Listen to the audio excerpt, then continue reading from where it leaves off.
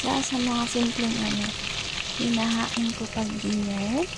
Yan po ay ang chicken breast. Or pwede rin kang gumamit ng ano, chicken thigh. Yung ano, madibon. And then, um, minarinig ko lang siya ng um, light soy sauce, oyster sauce, black pepper, and um, konting paprika, and konting salt.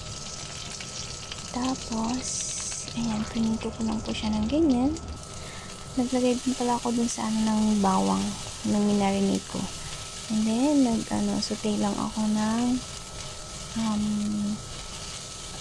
ginger, garlic, onion.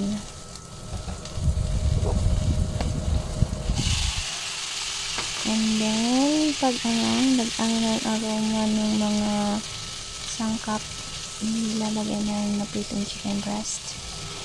At saka, um, mix it well. And then, well, ilagay lang, ilagay ko na yung ano dyan, yung lemon. Huwag niyo pong ano, huwag niyo damihan ng lemon kasi ano siya, maasim.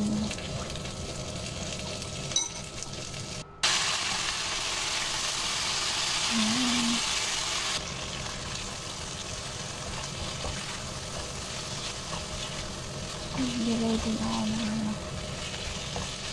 Pagka medyo maasim or kulang yung lasa niya, kayo na lang po mag-adjust ng ano, timpla niya kasi hindi naman tayo para-parehas ng panlasa. And after that, nilagay ko na yung coriander. And yun, ang maganda po dyan is maraming coriander. Kasi yun yung nagpapabango sa recipe. And then, yan, nagdagdag lang ako ng konting tubig kasi medyo dry siya. So, yan. Yan guys. Thank you for watching.